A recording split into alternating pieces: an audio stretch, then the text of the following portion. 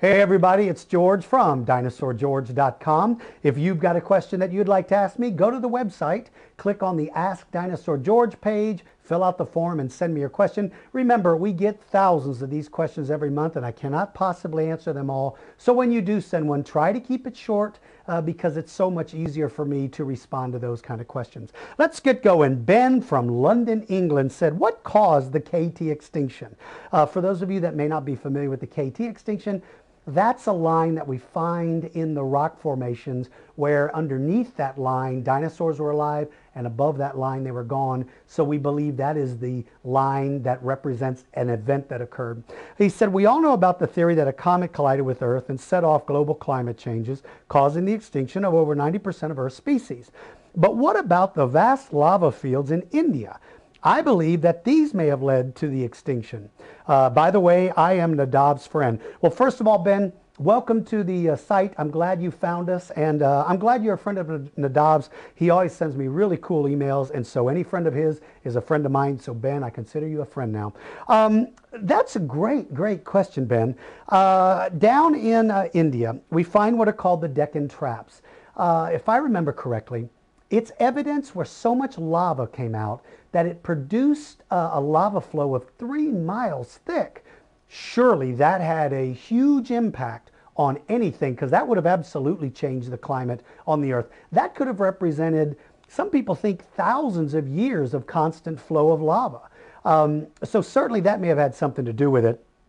Uh, I'll tell you something I, I read, and I have not followed up on this, but I read that somebody predicted that the Deccan traps were actually caused by the impact of the comet. That the comet struck the Earth and kind of sent a shockwave through the Earth, and on the other side of the Earth, uh, which happened to be India, uh, it caused those dramatic explosions and, and all that lava to come out. So certainly it's possible that if the, if the asteroid impact and the Deccan traps were related to each other, they certainly combined to make Earth an intolerable place.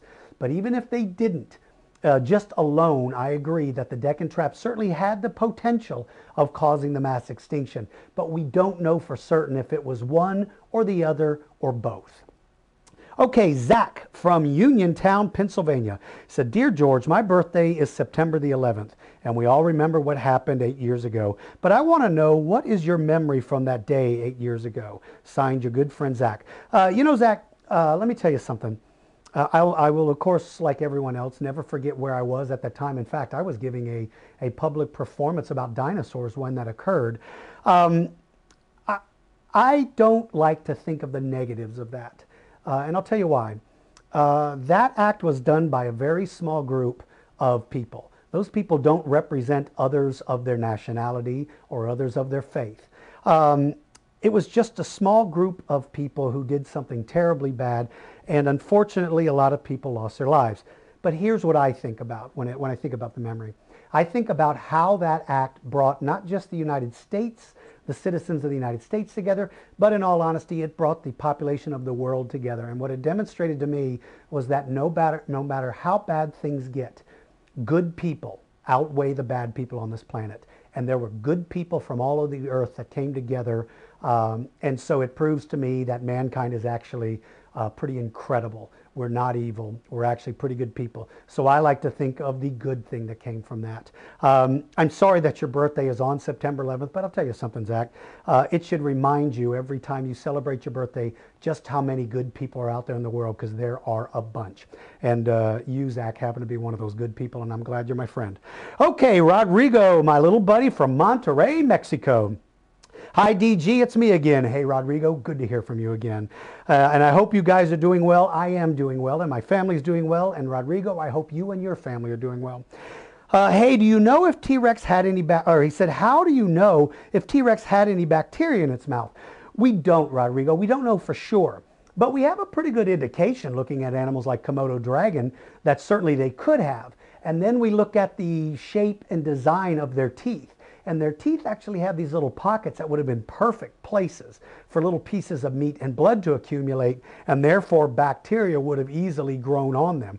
So we don't know for certain, but I do think it's a good guess that Tyrannosaur and maybe all predatory dinosaurs had a mouthful of bacteria, and it's probably because they never brushed their teeth. But I don't know about you, Rodrigo, but I would not want to go try to tell a Tyrannosaurus Rex he needs to brush his teeth.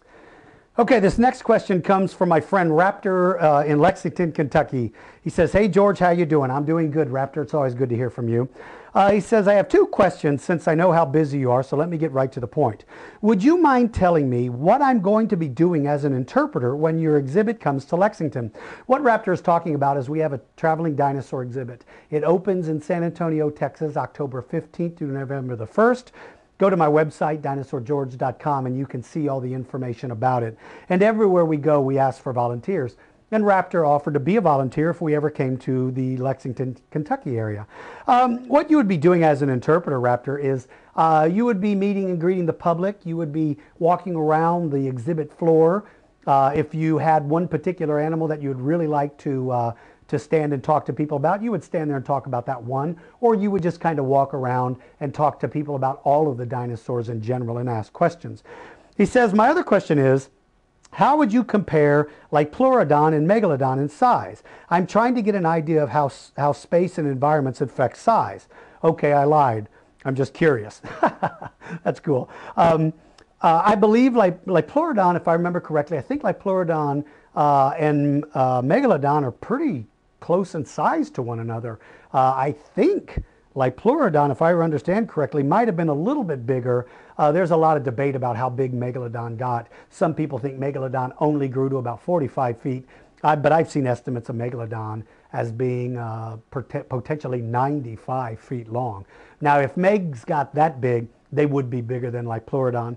Uh, certainly, they were close in size to one another, but from everything that I've read, I believe uh, Liopleurodon may have been a little bit longer than Meg, uh, but we just don't know. See, the difficulty is with Liopleurodon, we have hard bones that we can actually look at and compare to other known sizes and get a little better estimate. With Megalodon, you're really kind of relegated to a couple of vertebra uh, and, uh, and their teeth. Now, when I say vertebra, some people will go, ah, that's not true because sharks don't have bones. Actually, they have cartilaginous vertebra. Uh, and those vertebrae do fossilize. So we do find a fossilized vertebra from Megs, and we can compare them in size to the uh, vertebra of a great white shark and then extrapolate the size. Uh, but it doesn't necessarily mean we found the biggest uh, ossified um, or, or, fossilized cartilaginous vertebra. Uh, but again, I think most people feel pretty comfortable that megalodons may have stayed closer to 45, maybe 50 feet.